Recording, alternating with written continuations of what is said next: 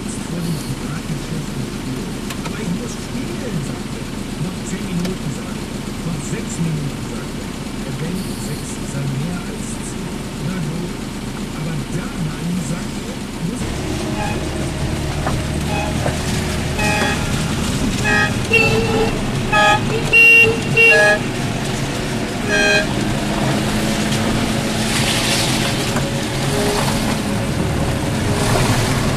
Na, ihr Kühe! Da guckt ihr.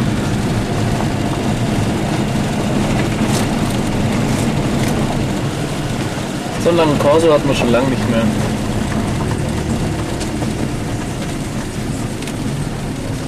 Das waren die letzten Jahre immer bloß so ein paar halt. Mal gucken, ob irgendeiner stehen bleibt. Der kommt schon angeschossen, bleibt keiner stehen. Ne. Düsseldorfer. Ey, nicht, dass der mehr Kilometer hat als ich.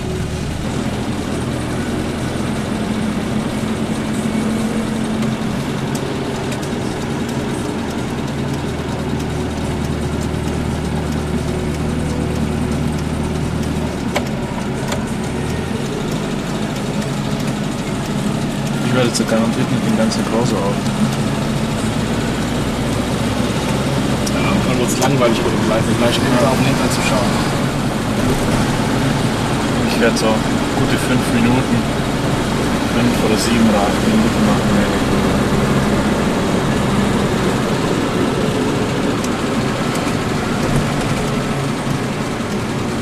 Flyer kommt sich interessanten Stellen. Ja.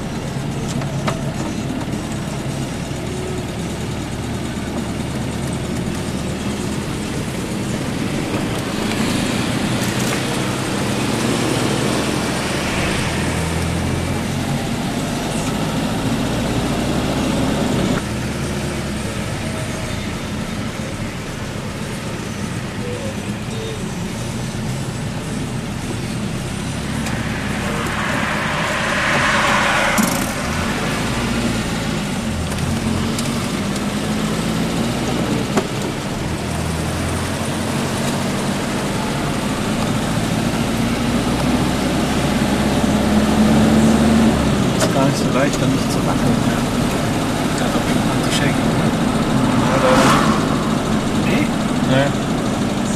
Beziehungsweise ich habe ihn wahrscheinlich im Ausland eingeschaltet. Das ist jetzt auch nicht, wo.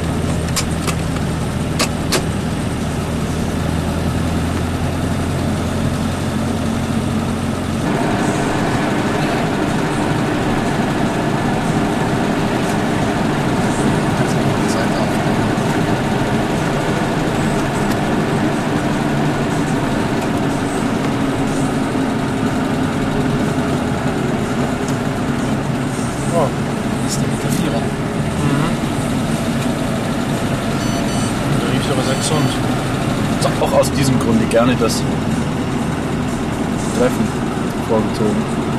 Äh, jetzt habe ich ganz X und Golf drauf. Arschwein. Stimmt.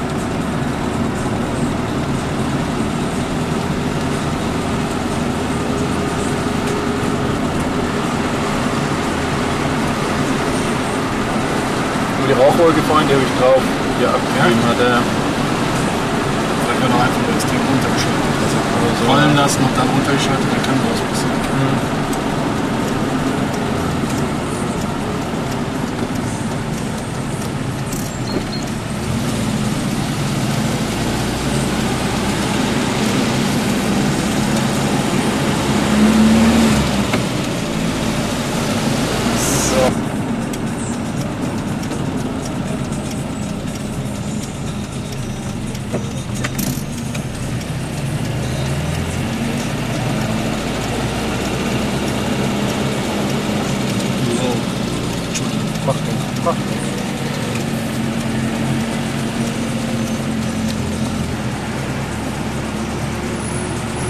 Ausland sind. Ja. Deswegen. Klar, ihr könnt ja, ihr könnt ja nicht ins Wahllokal marschieren und wählen. Und welches denn?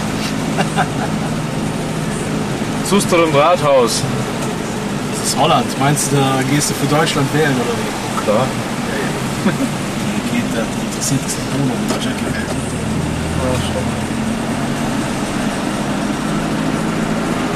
Ja. Angefasst. Wenn ich mich nach Holland schicken lasse, sag Steuer. Ja, stimmt.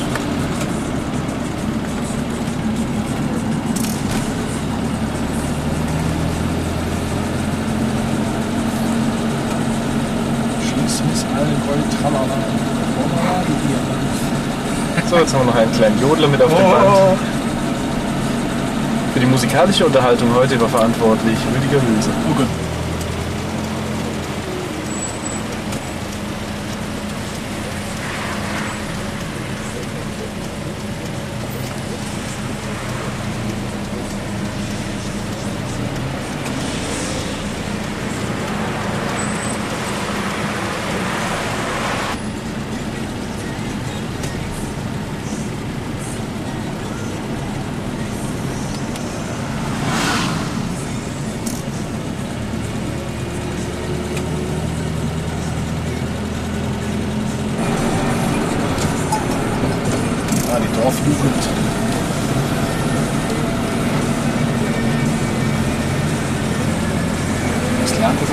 kann das sowas auch leisten.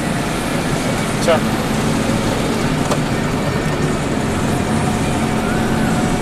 Dann haben wir auch einen gehässigen Kommentar auf dem Band. Das was ich meinem Sohn immer sage. Lern was ich ordentliches. Ente. Lern was ordentliches, dann kannst du DS fahren oder Ente. Ente, ich rede nicht von DS. Ja, Ich glaube, da musst du in 15 Jahren äh, fast Millionär sein für DS. leider, ja. Mein Traum ist es ja auch noch.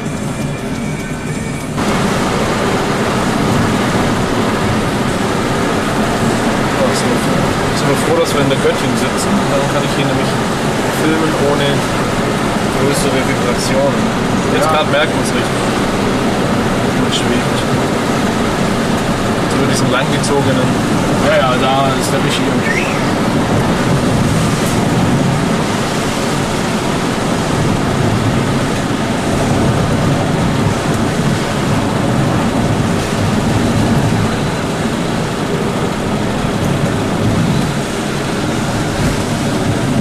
Boah, mir wird schlecht, wenn ich in den Monitor reingucke.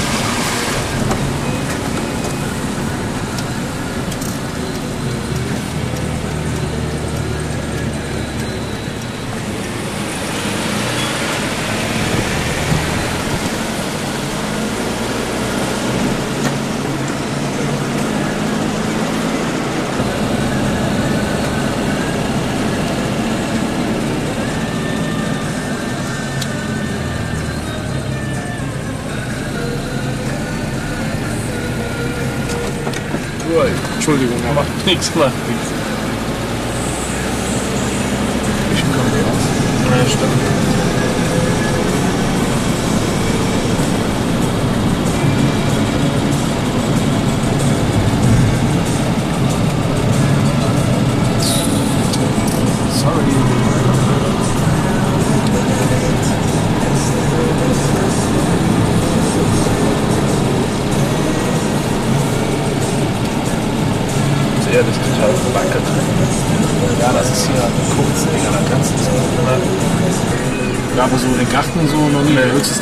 Autos stehen. Ja, vorne die, die Auffahrt halt. Ja, wo meine Autos am stehen. Genau, ja. Garage und Auffahrt.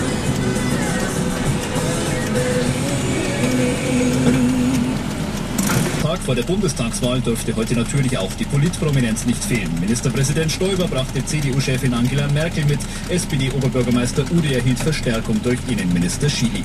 Trotz Wahlkampf prosteten sich Ude und Stoiber nach dem Anzapfen traditionell zu und wünschten für die nächsten zwei Wochen eine friedliche Wiesen. Hans Oberberger, Redaktion Oberbayern. Sport. Im Studio ist Gerhard Wilkens.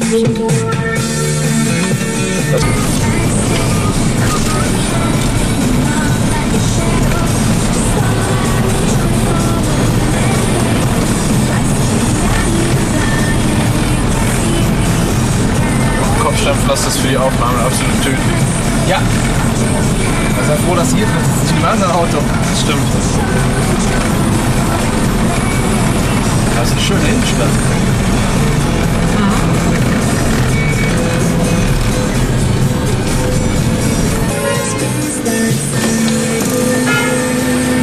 Nicht auf den Weihnachtsmarkt vor zwei Jahren. Ich kenne die Ja, ja. Dürre.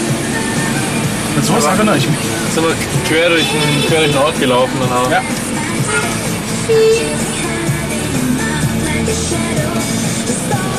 Hupt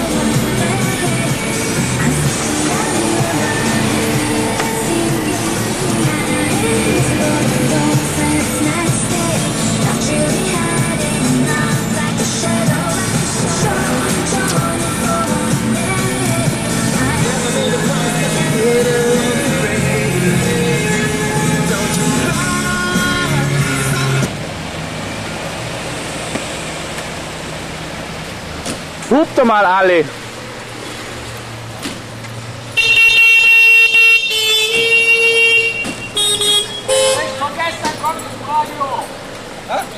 Wir sind im Radio gerade, Antenne Bayern. Das läuft jetzt gerade, der, der Bericht irgendwie. Läuft er bei euch? Nochmal laut.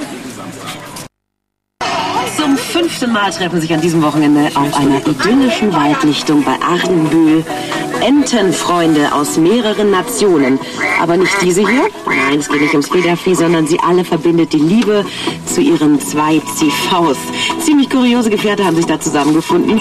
Organisiert wird das noch bis zum Sonntag dauernde Ententreffen von unserem früheren Top-Team, dem Entenclub Lindau. Wir haben die Entenfahrer auf ihrer Waldlichtung am Lagerfeuer besucht. Also das, was Sie da hupen oder besser gesagt quietschen hören, das sind Enten aus allen möglichen Himmelsrichtungen, die nach Argenbühl gekommen sind. Ich komme aus Holland. Aus Landau in der Pfalz, in der Nähe von Karlsruhe. Ich komme aus Sachsen-Anhalt, also Mansfelder Land, aus Lutherstadt Eisleben.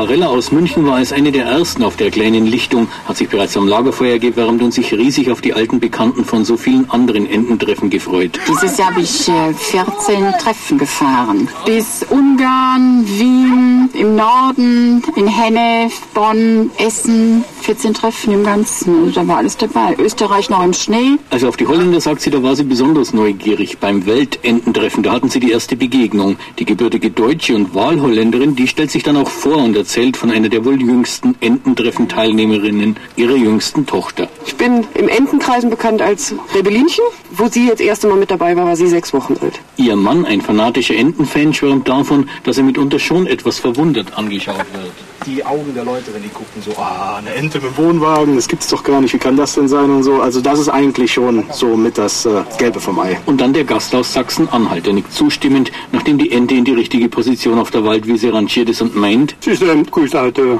die Ente. Mit der Trabant kommt eines Tages auch noch dahin. und so feiern sie denn mit ihren Kultautos, der gelegentliche Regen kann ihnen nichts anhaben, sie haben ja ihre Enten und sie freuen sich schon auf die gemeinsame Ausfahrt am Sonntag. Bei vielen Passanten wird es dann wieder das freundliche Entenstaunen geben, begleitet vom Entenquietschen. Aus Argenbühl, Klaus Wittmann, Redaktion Allgäu. gemacht.